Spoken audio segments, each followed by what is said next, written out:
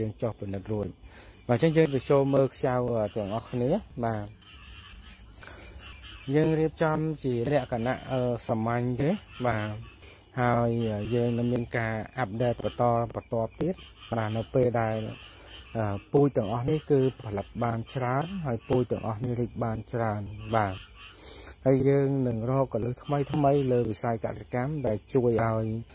ការធ្វើពុកម៉ែបងប្អូនឬក៏ ការចំណាយរបស់ពុកម៉ែបងប្អូនលើវិស័យកសិកម្មហ្នឹងគឺតាមធនធាន បាទកុំឲ្យថាយើងតតែមានលុយរាប់ម៉ឺនដុល្លារបានធ្វើបានយើងមានលុយរាប់ពាន់ដុល្លារបានធ្វើបាន យើងមានលុយរាប់រយដុល្លារបានធ្វើបាន គឺអត់ទេគឺយើងចាប់ផ្ដើមពីអ្វីដែលយើងអាចធ្វើទៅបានបាទឬក៏យើងគឺថាអាចនិយាយថាចំណាយតិចណាបាទប៉ុន្តែ បើយើងមានធនធានរួមផ្សំគឺធ្វើឲ្យវិស័យដែលយើងកំពុងធ្វើហ្នឹងក៏លឿនដែរព្រោះហេតុអីបានលឿនពីព្រោះយើងបានយល់ដឹងហើយយើងបានសិក្សាហើយយើងបានប្រឡូកជាមួយវាហើយយើងរៀនពីវារាល់ថ្ងៃអញ្ចឹងពេលដែលយើងមានធនធានវាលឿនជាងគេលឿនជាងអ្នកដែលអត់ទុនលឿនជាងអ្នកដែលខ្វះធនធានបាទអញ្ចឹងគឺមានធនធានវាជាចំណែកមួយ ដែលជួយពន្លឿនលើការធ្វើរបស់យើងនឹងឲ្យលឿនប៉ុន្តែសំខាន់ បូកជាមួយនឹងសមត្ថភាព ជាពិសេសគឺអ្នកដែលថែទាំហើយអ្នកនឹងគ្រប់គ្រងតែម្ដងបាទចឹងយើងចូលទៅមើលខ្ចៅទាំងអស់គ្នាបាទហើយនេះគឺជាអាងចិញ្ចឹមខ្ចៅបាទហើយនេះគឺជាប្រភេទខ្ចៅពុកម៉ែបងប្អូនខ្លះក៏គាត់បានស្គាល់ហើយខ្ចៅបាទហើយនេះគឺជាអាងចិញ្ចឹមខ្ចៅ ពុកម៉ែបងប្អូនខ្លះក៏គាត់បានស្គាល់ហើយខ្ចៅបាទនេះជាប្រភេទខ្ចៅបាទអញ្ចឹងសម្រាប់ពុកម៉ែបងប្អូនខ្លះក៏គាត់បានធ្លាប់ចូលចិត្តដែរប្រភេទខ្ចៅនេះហើយសម្រាប់ខ្ចៅនេះក៏យើងចាប់ផ្ដើមយកមកចិញ្ចឹមនៅក្នុងកសិដ្ឋាន400ដែរហើយយើងមាន ខ្យងក៏ច្រើនប្រភេទដែរដូចខ្ញុំជម្រាបជូនពុកម៉ែបងប្អូនចឹងបាទនេះគឺជាប្រភេទខ្យងខ្មែរយើង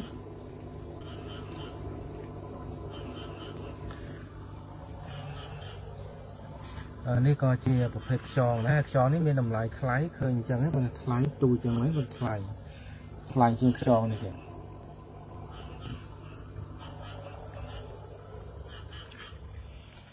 បាទហើយយើងបាន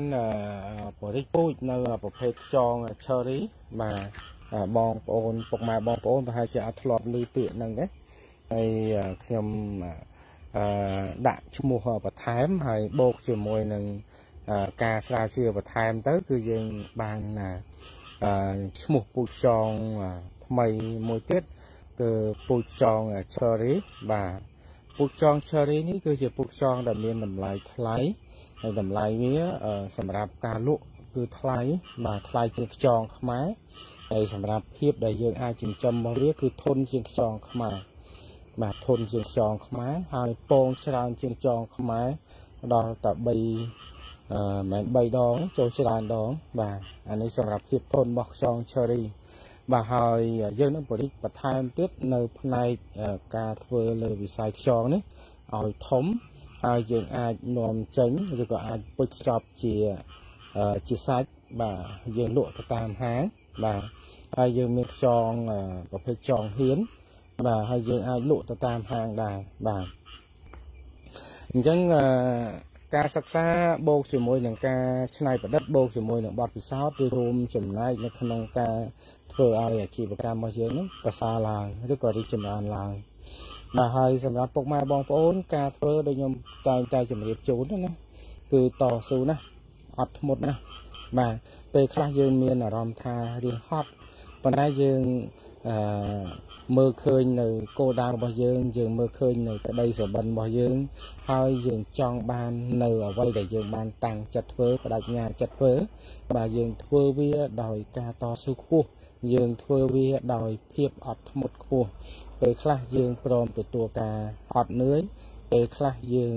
ព្រមទទួលការឈឺចាប់ហើយពេលខ្លះក៏យើងព្រមទទួល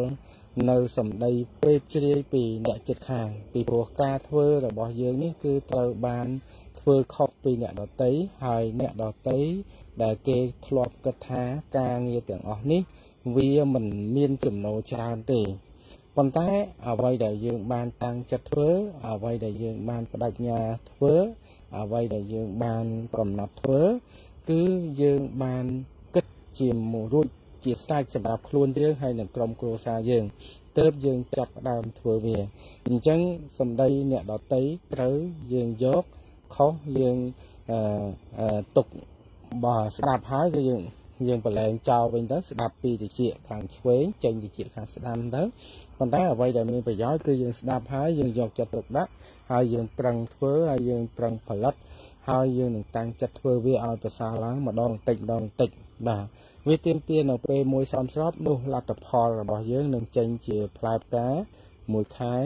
2ខែ3ខែ6ខែ1ឆ្នាំគឺដំណើរការរបស់យើងនឹងចាប់ផ្ដើម បានផលិតផលខ្លះខ្លះដើម្បីដោះដូរផលិតផលខ្លះខ្លះដើម្បីបង្កើនចំណូលហើយផលិតផលខ្លះខ្លះដើម្បីពរិជនៅឆ្នាំបន្ទាប់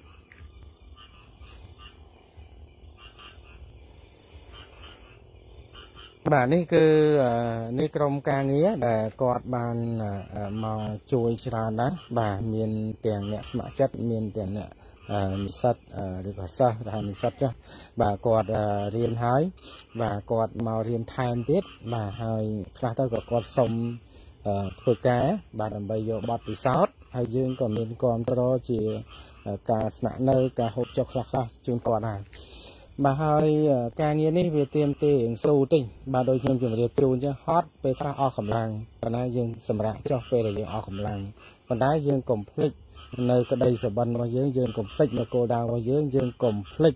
នៅអ្វីដែលយើងបានតាំងចិត្តណាបាទអ្វីដែលយើងបដិញ្ញាចិត្តបាទដូចខ្ញុំបានទៅសេនៅក្នុង caption ថ្មីថ្មីអញ្ចឹងបាទការតស៊ូគឺបាទធំធេងណាបាទហើយប្រសិនបើយើង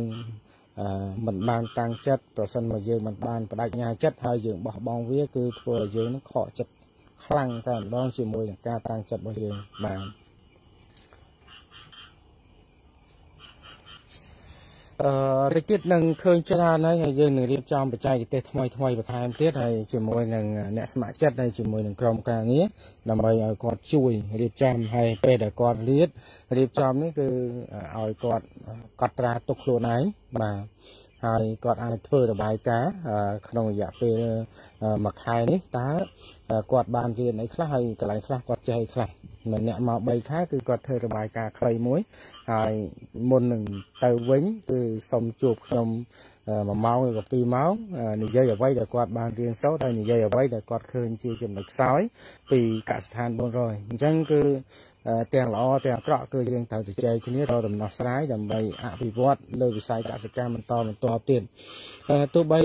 ពុកម៉ែបងប្អូនខ្លះគាត់ធ្លាប់ឃើញថាអូកសិដ្ឋាន400គឺហេតុអីចាំបាច់ធ្វើច្រើនយ៉ាងនេះហេតុអីចាំបាច់ធ្វើច្រើនយ៉ាងនេះហើយមិនធ្វើតែមួយមុខឬក៏ធ្វើតែពីរមុខទៅហេតុអីបានចាំបាច់ធ្វើច្រើនយ៉ាងនេះបាទ ដោយសារតែពុកម៉ែបងប្អូនធ្លាប់គិតថាធ្វើច្រើនមិនបាន ធ្វើច្រើនមិនកើតអញ្ចឹងហើយ បានជាការធ្វើរបស់ពុកម៉ែបងប្អូន បានតែ1 2 1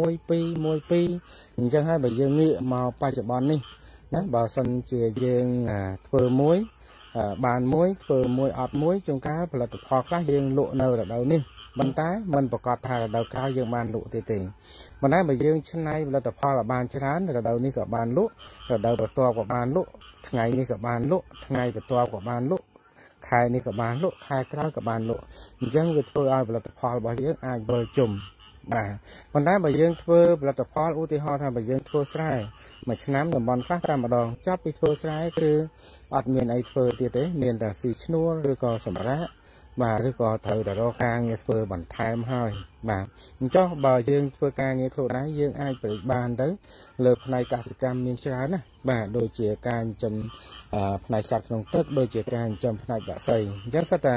ផ្ដល់ផលឲ្យគ្នាទៅវិញទៅមកហើយនឹងការដាំបន្លែដាំឈើហូបផ្លែសិតតែរួមចំណែកទាំងអស់បាទរួមចំណែកទាំងអស់បាទ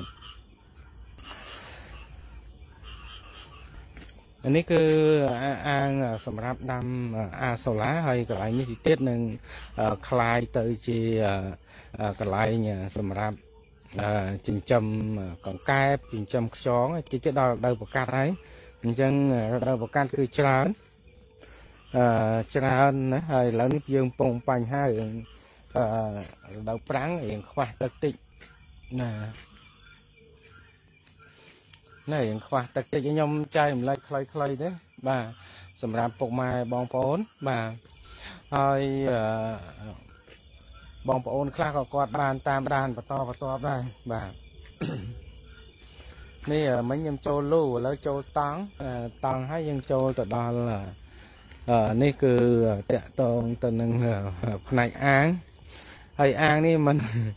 អាងនេះមិនធម្មតាទេសិតតែធ្វើពីអត្តករោបាទ អត់ការ៉ូរៀបស៊ីម៉ងហើយដាក់ជាអត់ការ៉ូទៀត